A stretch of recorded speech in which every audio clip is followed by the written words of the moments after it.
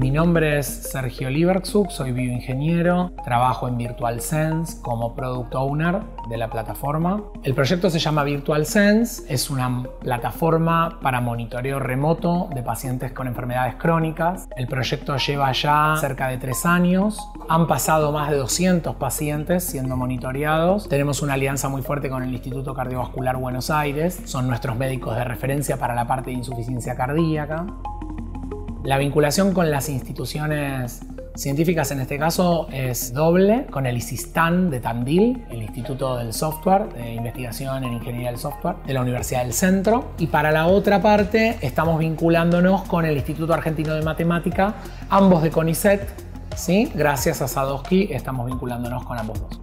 La plataforma de monitoreo remoto o telemonitoreo tiene como objetivo brindar una solución tanto a pacientes como a instituciones médicas en el seguimiento de la toma de las variables fisiológicas de los pacientes con enfermedades crónicas para que del otro lado, desde el lado médico, hay un dashboard desarrollado y se puede seguir estos parámetros fisiológicos de los pacientes día a día y la sintomatología también, cómo se siente el paciente. El paciente tiene de su lado una app entonces va a poner carita verde, carita amarillo, carita roja, de acuerdo a cómo se siente todos los días. Si pone carita amarillo, carita roja, le va a hacer más preguntas. ¿Te falta aire? ¿Por qué te falta aire? ¿Es siempre igual o es en reposo mayor la falta de aire? Esos algoritmos están desarrollados por nuestros médicos de referencia del Instituto Cardiovascular Buenos Aires y sirven para seguir la insuficiencia cardíaca de cerca en este caso. En el caso del ISISTAN, los investigadores son Cristian Mateos y Matías Hirsch para la parte de vinculación de dispositivos y eh, arquitectura de motor de reglas de sugerencia para el médico. Y por el lado del IAM, la doctora Paula Bonomini, que trabaja en detección de fibrilación auricular. Del lado de la empresa, yo soy una especie de coordinador de todo el proyecto. Hago las conexiones y las articulaciones entre los investigadores y el equipo de Virtual Sense.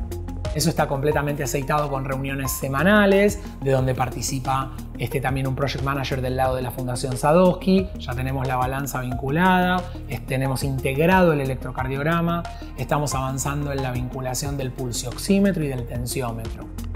Es central el rol de Sadowski en esto, en vincular el sistema científico tecnológico argentino con las empresas que lo necesitan. Nosotros aspiramos a tener cuatro dispositivos vinculados y el motor de reglas, que es la segunda parte del proyecto con el ISISTAN. Hay un desafío grande con la vinculación de los dispositivos porque los protocolos son cerrados en los dispositivos. El fabricante no te da el protocolo de comunicación de la balanza, del tensiómetro, del pulsoxímetro. Hay que hacer ingeniería inversa. Los chicos de Virtual Sense han trabajado excelente en poder integrar todo eso.